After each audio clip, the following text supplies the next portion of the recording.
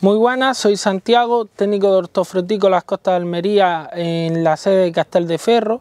Me encuentro hoy en esta finca que está la nueva variedad de Semini.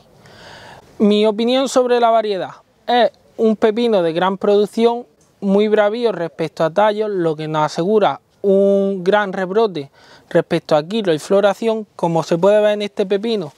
Son pepinos que rellenan perfectamente desde la cabeza a la punta, sin punta lápiz ni cuello de botella, un azurcado correcto y un buen color que me asegura una buena cosecha y un buen precio. Más o menos yo creo que esa es la explicación, las grandes resistencias que tiene, que son cinco, nos encontramos en una finca en la que tenemos resistencia a GGMV, uno de los nuevos problemas que tenemos porque se reproduce mediante contacto también tenemos resistencia a Nueva Delhi, el virus que más establecido tenemos en toda la comarca de Almería y Granada, un gran problema en pepino que se transmite por la mosca. Amarilleo y venas amarillas, que son los dos virus más antiguos, y oidio,